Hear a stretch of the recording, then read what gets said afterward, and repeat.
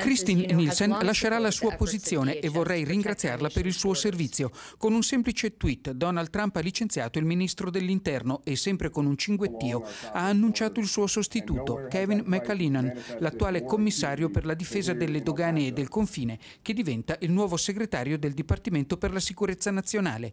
Una decisione che non ha sorpreso gli Stati Uniti, dove è nota la frustrazione di Trump per l'aumento dei migranti al confine meridionale. Nelle ultime ore è cresciuta la pressione di migranti anche cubani e afghani che cercano di raggiungere gli Stati Uniti attraversando il fiume al confine tra Guatemala e Messico. In Afghanistan per me è molto, molto pericoloso, dice quest'uomo, mi potrebbero uccidere.